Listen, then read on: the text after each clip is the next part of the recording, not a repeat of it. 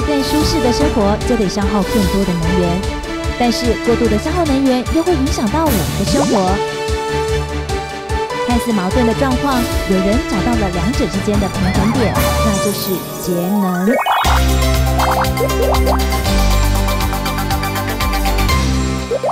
黄永辉为下一代创造良好生活，在日常生活中彻底落实节能手法，并教育家中成员动手实行。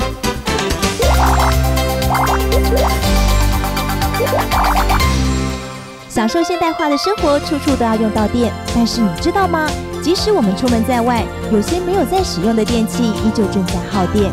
这些所谓的待机电力，因为我们的忽略，每年每户平白花费在待机的电费就要大约新台币一千至两千元呢。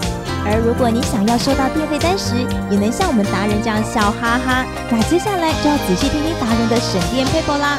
今天我们就请节能减碳的省电达人黄永辉带你一起动手做。像随手拔插头这件事哦，其实在节能这件事情是非常基础而且非常重要的哈。那但是在随手拔插头其实是一个很不方便的，所以我们把拔插头这件事情分成两类设备，一类是我常常用的，那一类呢是我经比较少使用到的。好，那针对比较经常使用的，我一定会做一个开关。那这开关会放在随手可及的地方。那当我使用完这个设备之后，我就随手把这个开关关掉。好，那这样做这样一个方式呢，可以让我们整个随手拔插头的动作可以持之以恒。除此之外，在一些平常我们不方便经常开关的电器，使用定时器就是一个能帮助我们省电的好方法。那一般来讲，在家中使用定时器的一个设备，最重要的就是热水器。那大家可能想说，哎，热水器不是吃瓦斯的吗？为什么还要这个这个定时器？跟电有什么关系哦？主要是说，现在的热水器其实都有一个功能叫强制排气啊，所以它会有一个待机电力。那这待机电力大概一般我们测起来大概五五瓦的一个。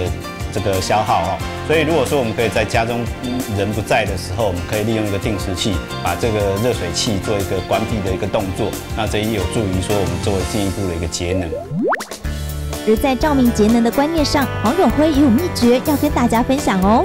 其实一般照明是我们家在占家庭用电里面大概占了三分之一强的用电哈，所以照明一般我们在过去的心得里面，我把它分成两类，一类是直接照明，那一类是间接照明。那直接照明的部分，针对一些长时间的，比如小夜灯。然后小夜灯，因为它这个点用的时间比较长哈，所以呢，我们建议各位可以用 LED 灯泡来使用。那另外一块环节就是所谓的间接照明，大家可以输入看你自己家的天花板，基本上因为有四个方向哈，当时在设计的时候，我们就会希望说，哎，我把它这个开关做成两段式，我可以前后一段，啊左右一段，啊那依需要来使用来开启。